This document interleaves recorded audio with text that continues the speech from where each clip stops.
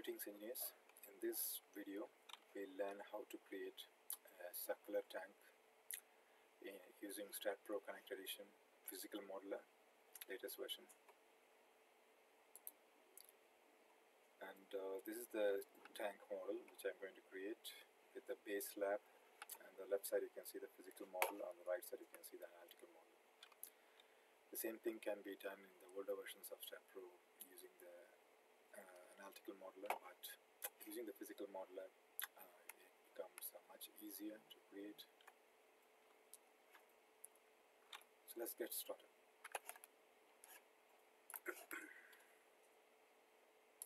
so here is the first screen of STAAD.Pro Connect Edition. Uh, for this example you can use even the standard version of uh, STAAD.Pro Connect Edition. Advanced is uh, really not required for this example. So I start with a new one and just uh, select the right folder and uh, give a sample file name and choose the type of the GUI graphical user interface. For this example I'm going to use a physical model.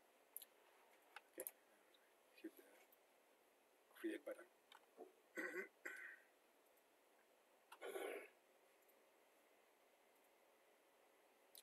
And this is the first screen of uh, STAAD.Pro Physical Modeler. I start with the grid and uh, I'm going to create a simple grid and uh, since the physical modeler does not have a template or a structure wizard for creating circular objects I'm going to create the circular objects by using the circular copy command.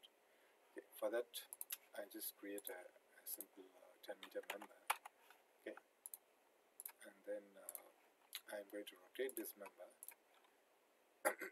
about the global y-axis and uh, pivot point I'm going to give 5 meter assuming that the circular tank radius is 5 meter and the revolution is going to be 360 degrees.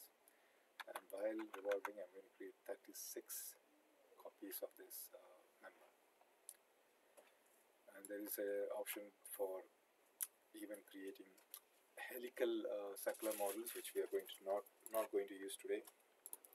So I just here create a circular frame.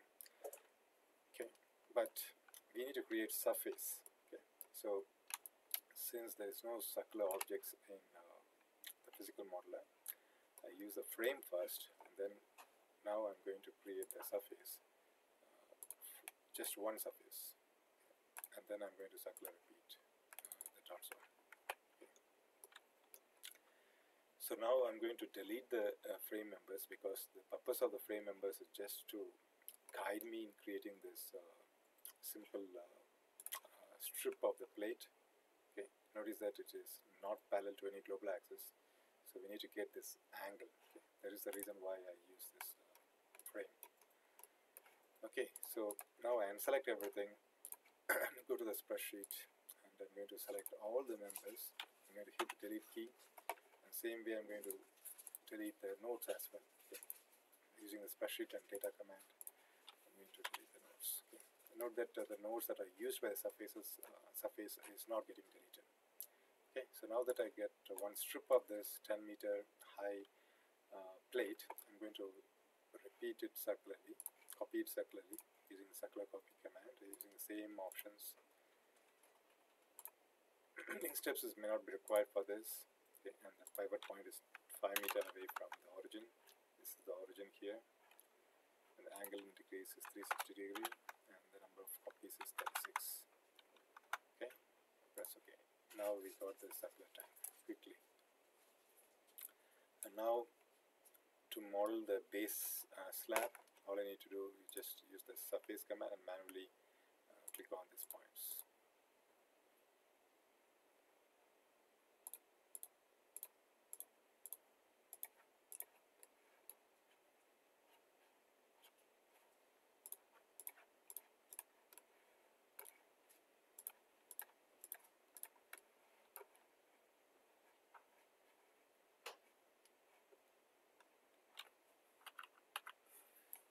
Advantage of the physical modeler is, uh, is a real uh, 3D model, so I can use my mouse to rotate uh, to see clearly.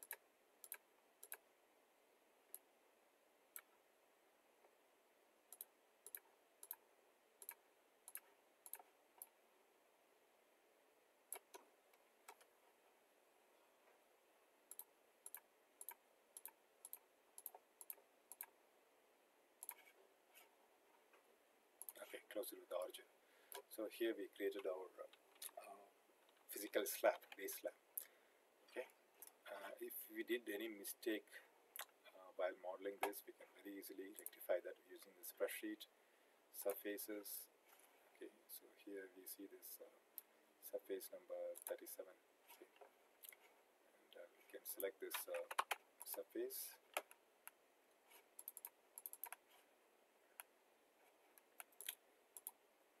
and uh, here you can see the node numbers. Okay. so here you can see the node numbers. So you can manually change it if you have any mistakes here. Okay.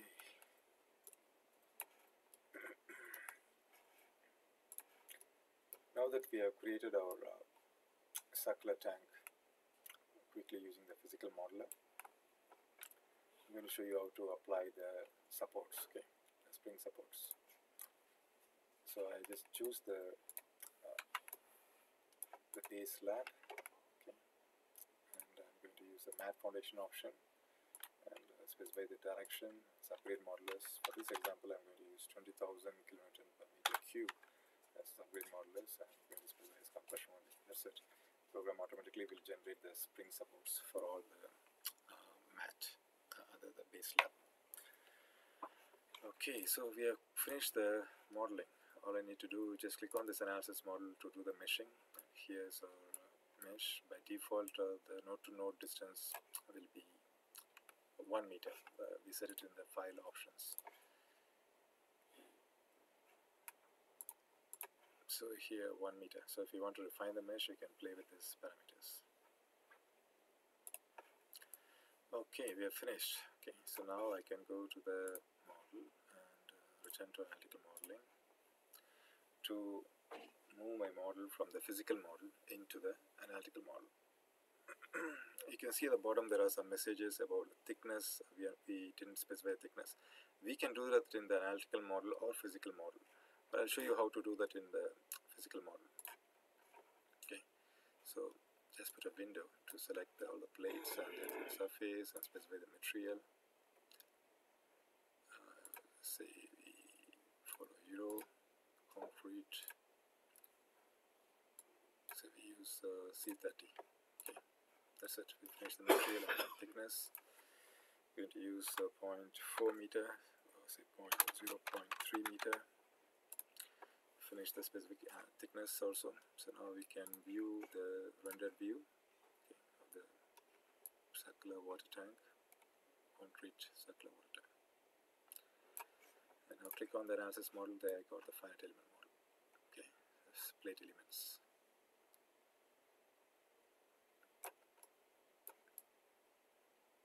See the stitching between the slab and the vertical walls. It's all perfect. The same thing if you want to do it in the analytical modeler we have to use the structure wizard to create the horizontal cylinder first I mean the vertical cylinder first and then create the bottom uh, plate also in structure wizard and then connect it. While connecting we have to be careful about the stitching. So we have to use the equal divisions for both the base slab and the uh, vertical wall. Okay. Whereas in the, in the physical modeler this becomes easier. Okay. So now return to the analytical model. And now that we have specified the material and uh, property information in the physical modeler there's no more messages in the bottom window. So now we are in the analytical modeler we can see the spring supports at the base slab they are automatically generated.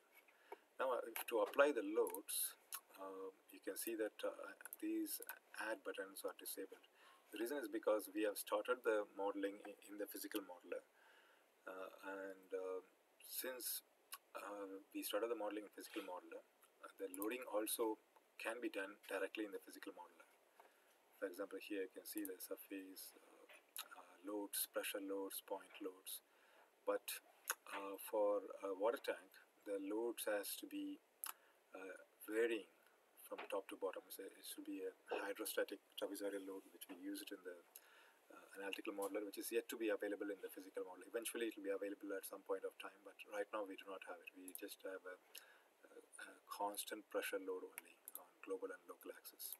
So which is not good enough for my uh, water tank design.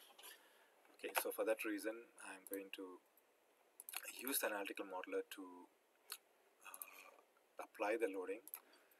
So in order for applying the load in the analytical modeler I need to break the link between the physical and analytical modeler.